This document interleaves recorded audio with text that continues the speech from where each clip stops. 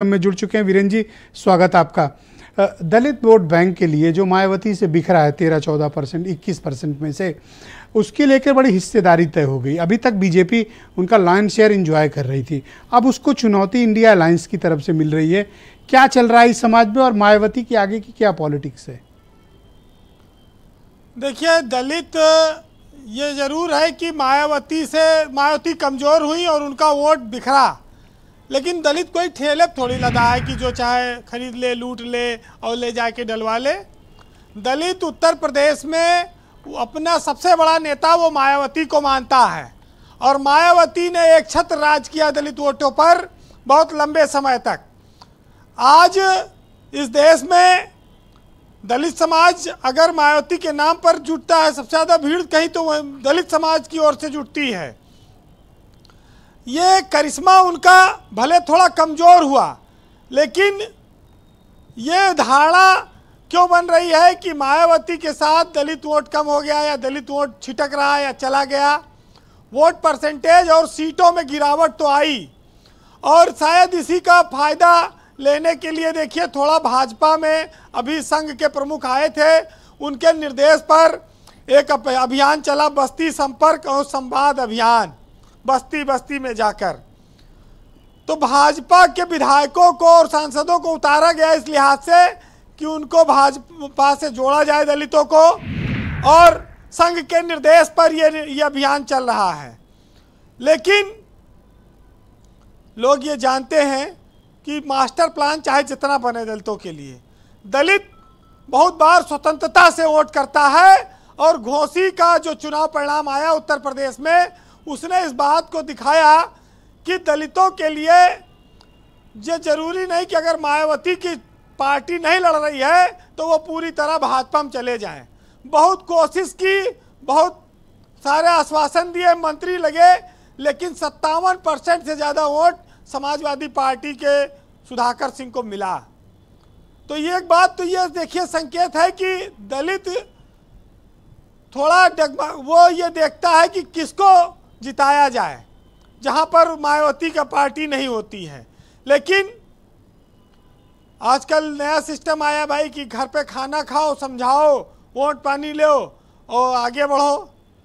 लेकिन ये जो खाना पीना कार्यक्रम चल रहा है, जो नेता दलित बस्तियों में जा जाकर दलितों के यहाँ खाना खाते हैं, उनको चाहिए कि कभी कभी दलितों को बुला के अपने घरों भी खाना खिलावें खाली उन्हीं के यहाँ ना जा जा के खाएँ।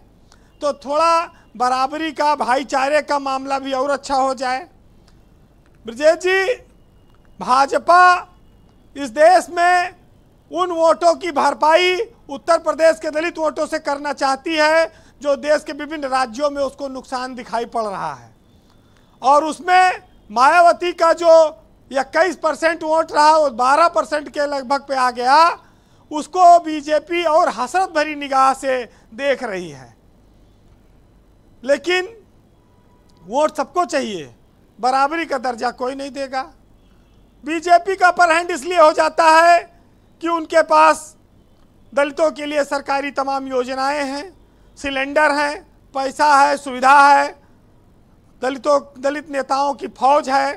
बीजेपी थोड़ा इस मामले में आगे हो जाती है। लेकिन जो जाति व्यवस्था है, इस देश में प्रकृति की तो यह सच्चाई है कि कोई चाहकर किसी जात में पैदा नहीं हो सकता, चाहे वो कितना ही ताकतवर क्यों ना हो। ना उसके अधिकार में है, लेकिन ये भेदभाव, छुआछूत, दलित वोट लेने और देने के बावजूद भी अभी तक पूरी तरह दूर नहीं हो पाया, वो मुख्य धारा से अभी भी दूर है। तो जो बातें कही जाती हैं चुनाव में, अगर उस पर अमल बढ़ाया जाए तो फ़ायदा हो भी। हम जिस व्यवस्था में हैं वहाँ पर जब हमारे ऊपर मुसीबत आती है तो हम जाति देखकर मदद तो मांगते नहीं। लेकिन कुछ लोग चाहते हैं, कुछ लोगों का कहना है कि जाति व्यवस्था खत्म होनी चाहिए। खासतौर से हिंदू समाज में सामाजिक सुधार के लिए इसकी बड़ी ज़रूरत है आज, और हिंदू समाज का पुनर्निर्माण तब तक नहीं होगा जब तक जाति व्यवस्था खत्म नहीं होती। राजनीतिक सुधार से बहुत ज़्यादा फ़र्क नहीं पड़ता है। हिंदू समाज जाति व्यवस्था से ग्रसित है, जो दलितों पर अत्याचार की तमाम सारी वैध, अवैध कहानियाँ भरी पड़ी हैं, जो दिखाई पड़ती हैं। ये जाति व्यवस्था हमारे समाज की एकता, बंधुत्व और भाईचारा को रोकती है।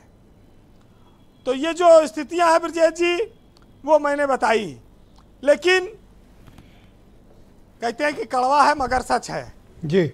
हम एक ऐसे समाज में रहते हैं जहाँ सुंदरता को रंग रूप से देखा जाता है शिक्षा को मार्क से देखा जाता है हम्म।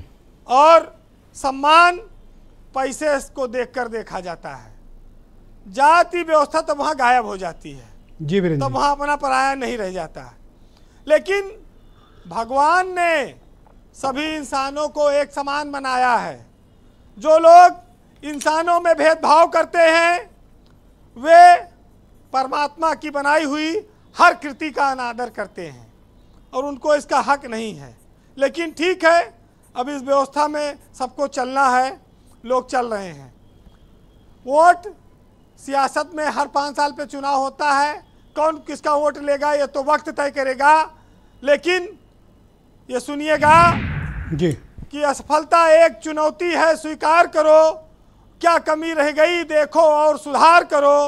और जब तक न सफल हो, नींद चैन को त्यागो तुम, और संघर्ष का मैदान छोड़ मत भागो तुम। और कुछ किए बिना जय जयकार नहीं होती, और कोशिश करने वालों की कभी हार नहीं होती। वाह वाह, बेहतरीन। बहुत शुक्रिया वीरेंद्र जी। बहुत बहुत धन्यवाद। ग्राउंड ज़ीरो से अपनी इनपुट फीडबैक और एक बेहतरीन शेयर